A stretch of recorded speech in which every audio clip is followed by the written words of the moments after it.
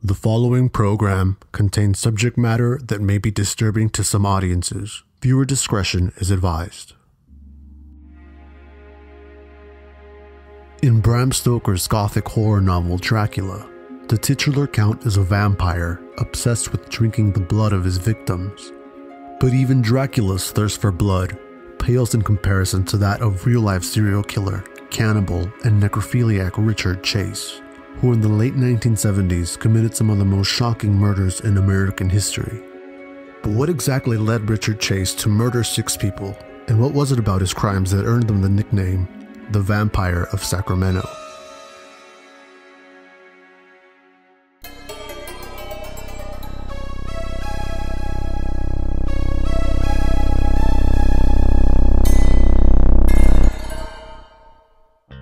In 1975, a frail, disheveled man is admitted to a California hospital and diagnosed with blood poisoning.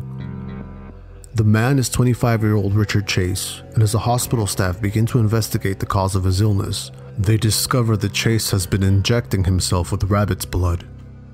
He's suffering from severe delusions and hypochondria and believes that his blood is turning to dust.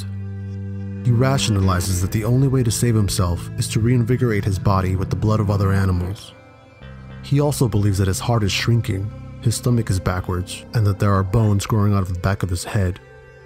They also discover that sometimes he even places the blood in a blender, along with other organs from small animals he's killed, and drinks the concoction like a smoothie.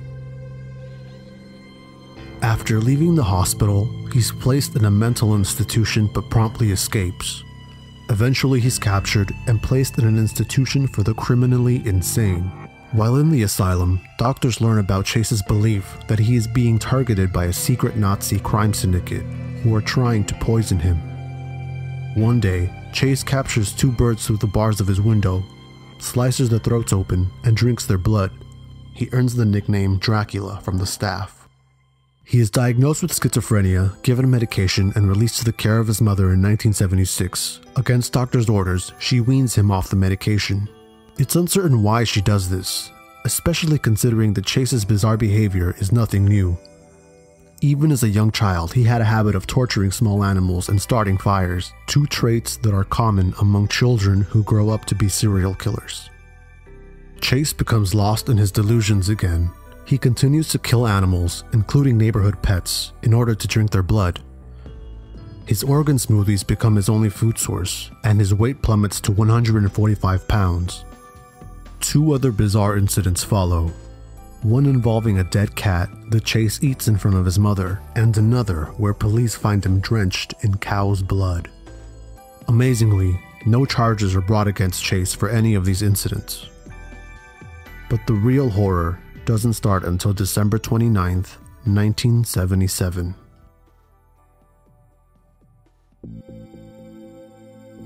Ambrose Griffin a 51 year old father of two, is helping his wife bring groceries into the house when Chase pulls up in his car and fires two shots with a 22 caliber handgun.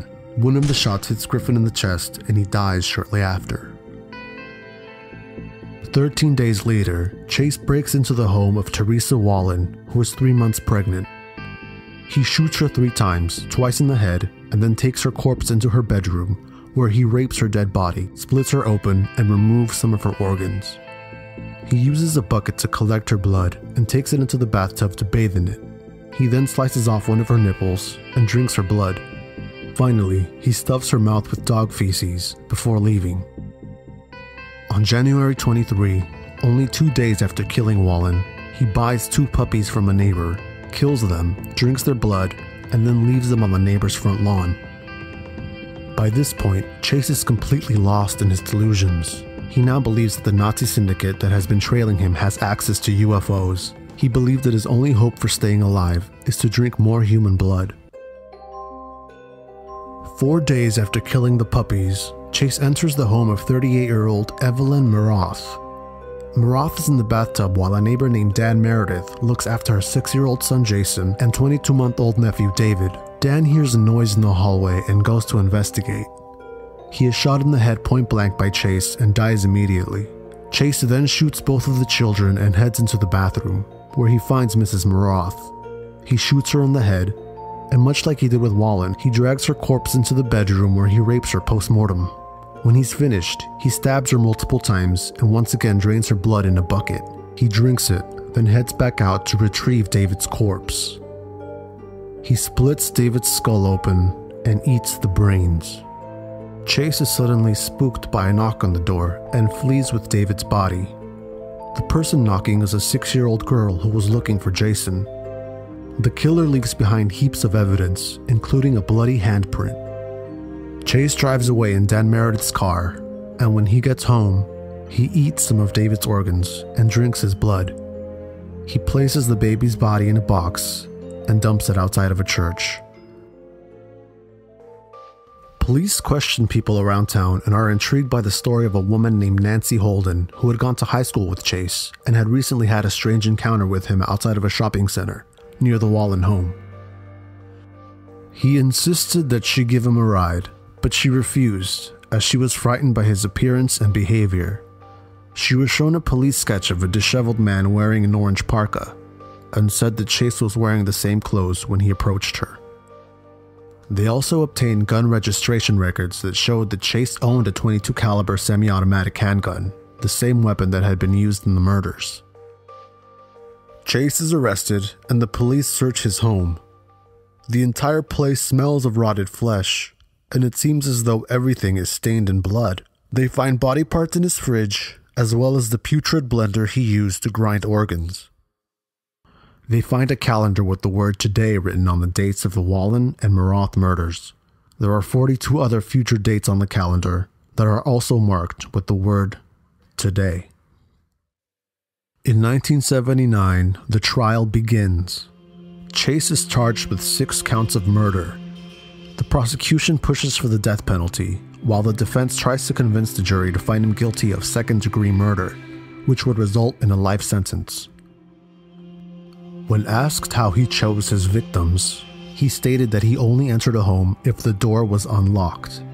He felt that an unlocked door was an invitation for him to enter, while a locked door indicated that he was not welcome. Interestingly, it is a part of vampire lore that a vampire cannot enter someone's private home unless they are invited by the owner of the house.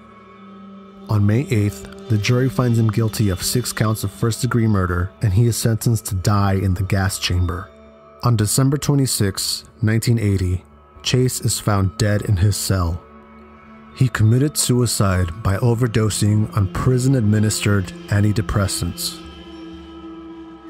Now I'd like to know what you think. Is there any way to stop people like Richard Chase from becoming serial killers? Do you think that an intervention at a young age would have helped? Let me know what you think in the comments, and as always, if you liked this video, please subscribe to Crypticc for more.